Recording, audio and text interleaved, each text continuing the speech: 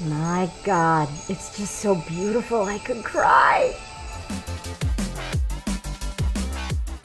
Hey everyone, and welcome to DIY in 5, the show where we break down technology into easily digestible bits for the everyday user. I'm Trisha Hershberger, and today we'll be talking all things storage and graphics. This is part of our quest to equip you with all the know how you need to build your own PC. If you want to check out our other videos covering things like motherboards, CPUs, cooling options, and RAM, be sure to subscribe so you don't miss a beat.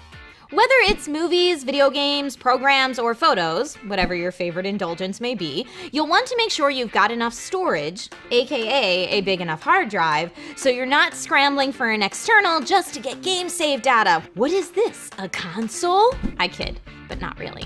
This is your build, and no one knows what you'll be using it for better than you. When it comes to storage, there are two main types to consider HDD and SSD. An HDD, or hard disk drive, is the more traditional type of data storage. It uses one or more magnetic spinning disks to read and write information. It's tried and true and comes at a fairly reasonable price point. You can get one terabyte of HDD storage for as low as $50. Then there are SSDs, or solid state drives, which read and write data using microchips. Because there are no moving parts in SSDs, they're quieter, faster, use less energy, and have a longer lifespan than their hard drive counterparts. This technology is much newer, but also more expensive, although they've come down quite a bit in price over the years. Then there are SSHDs, solid state hybrid drives, for those who want the best of both worlds.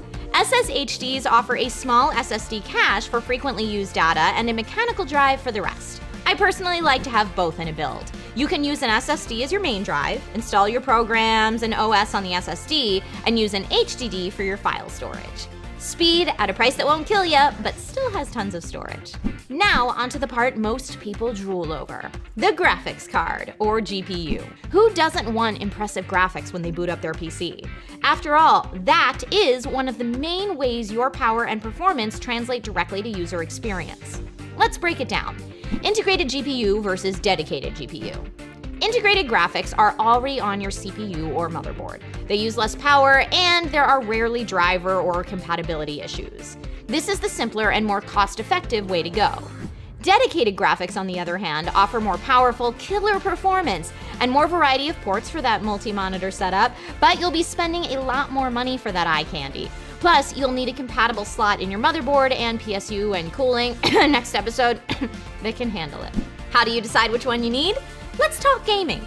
Most older and lower demand indie games don't need a dedicated GPU. But if you play more modern or top tier games, or you dabble in the world of VR via the Oculus or Vive, then you'll want to go dedicated. Another reason you might want a dedicated GPU is for photo or video editing, or 3D art rendering. While you could have a reasonable experience using integrated graphics, there'll be a noticeable difference if you get a dedicated graphics card. Same with any CAD or computer-aided design programs for architecture, structural engineering, etc. If you don't feel like you need a dedicated graphics card, that's okay. GPUs tend to get a lot of attention, but they aren't for everyone, and you might be able to use the money you save in this category for another component that better suits your needs. If you do decide to go for gold with the dedicated graphics, the two top contenders in the GPU market are NVIDIA and AMD, although there are plenty of other great options out there. Between AMD and NVIDIA, the pricing is relatively the same, and there are die-hard fans of both that will argue which one's better.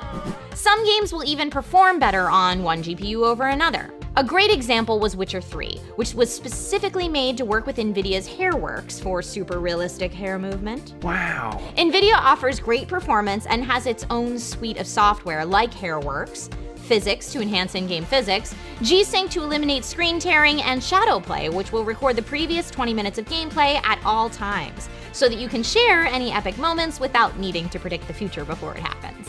AMD has its own recording and optimization software, AMD Gaming Evolved, and offers a bit more user choice in terms of what software and drivers to install. To GPU or not to GPU? That is the question.